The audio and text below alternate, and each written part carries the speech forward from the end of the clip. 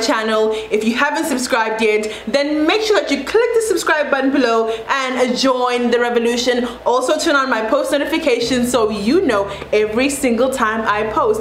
Make sure that you follow me on Instagram because that is honestly where we get the most engagement. And whenever I want people's opinions on videos or video ideas, I always ask a poll on Instagram and you definitely want to be a part of that. So today's video, I'm going to be talking about annoying things Americans say. Oh my days, guys. Ha! Let me tell you guys a quick story time before I get into this video. So this one time I had a professor, a whole professor, you know, PhD, a doctor, guys, ask me, hey Benitta, where are you from? And I said, oh, I'm from South Africa.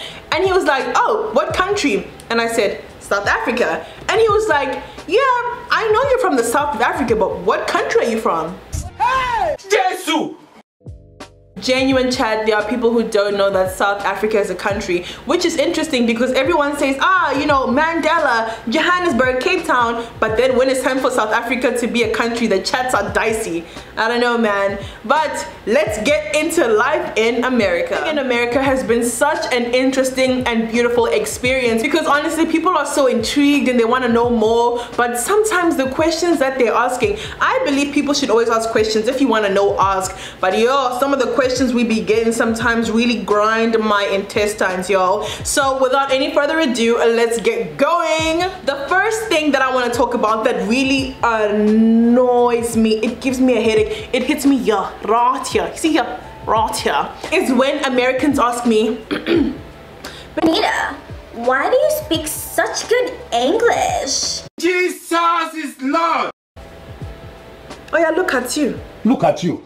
Like, why on this good earth should I not be able to speak English? I really feel like the question is rooted in the American belief that Africans don't speak English. If you watch my video, how much Americans know about Africa, if you ask them the languages, somebody actually said Shaka Zulu and they said like dead ass you know? So I feel like it's rooted in the American belief that Africa is just this rural place where we don't have electricity and we don't have high-rise buildings and animals are roaming all over the place. And you know what I mean? I find that really frustrating. So let me clear that up right now. I speak English because I learned English at school probably just like you. I also speak English at home with my family. I do however speak a bunch of other languages because in South Africa we have 11 official languages and one of the languages we learn at school is Afrikaans versus in America where you learn Spanish in school.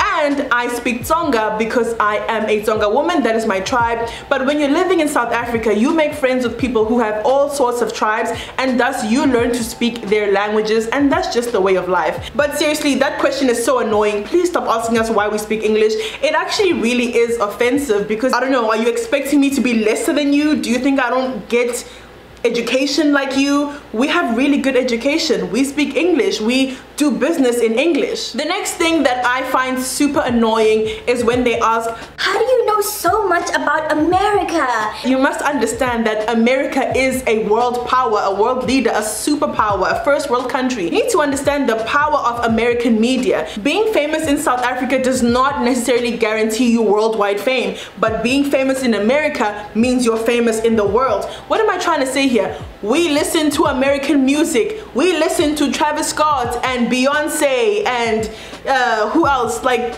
whoever your celebrities are, Drake, Rihanna, yeah, bruv, we listen to them too. We watch Love and Hip Hop too. We watch Madea movies and Tyler Perry movies. We know about American stuff, first of all, because we learn it in school and it's all over our media.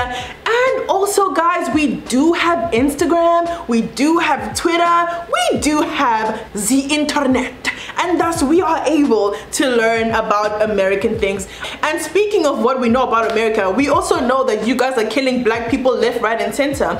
And when it was time for me to move to America, I was actually very reluctant and I really didn't want to move here because I was like, I'm black, I'm a black woman, and I don't want to go to America and be shot or be treated like a criminal purely because of the color of my skin. It's really scary going to America, especially as a black woman, because I mean, we all know hands up, don't shoot, I can't breathe, you know?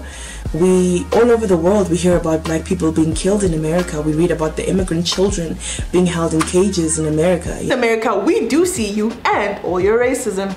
The next statement, this statement, I don't know man, this statement really just annoys me. Like it really, really does annoy me. I think it was LisaRaye who went on a, who went on TV and told people she's the queen of Ghana. You went from first lady of the Turks and the Caicos, mm-hmm. and now you're the queen of Ghana? Queen mother of Ghana. Okay. Yeah. Why the f you lying? You'll hear a lot of black Americans say, We just gotta go back to Africa, man, so we can be kings and queens in Africa. Do me a favor, please. Get out of here. I really hate to be the one to burst your bubble. Like, I'm really sorry to be the one to do this. But you are not a king or a queen in Africa. And if you move to Africa right now, trust me, you will not be royal.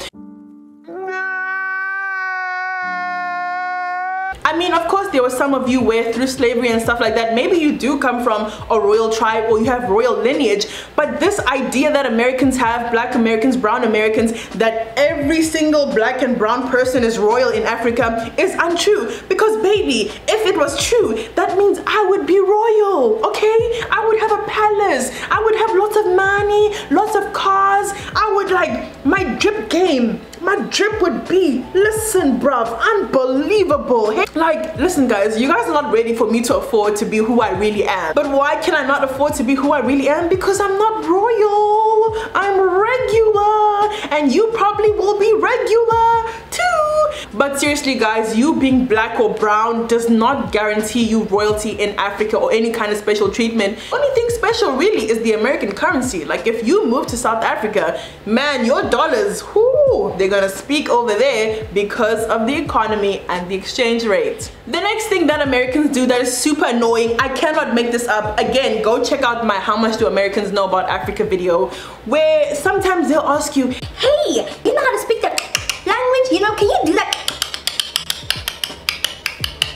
Guys, that is so rude. That is so annoying. Don't come to me and say, hey, do you know how to Listen, Google is your friend. If you want to know what the language is, at least make an effort to search for it and ask me properly about it instead of coming to my face and making weird clicks that I don't even understand. But just in case you want me to clear it up, no, I do not speak the next thing that I found super annoying is, oh my days, oh my days, oh my days. Americans love teasing my accent or African accents.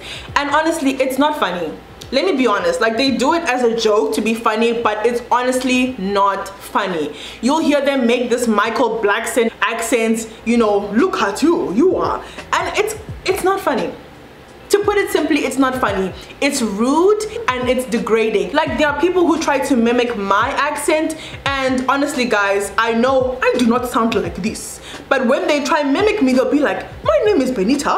I am from africa. Like i know baby i know. I do not sound like that. It's honestly very offensive. That's something that americans do that i really really do hate. We interrupt this program to bring you a special report. And now, a message from our sponsors. Drink water, kids.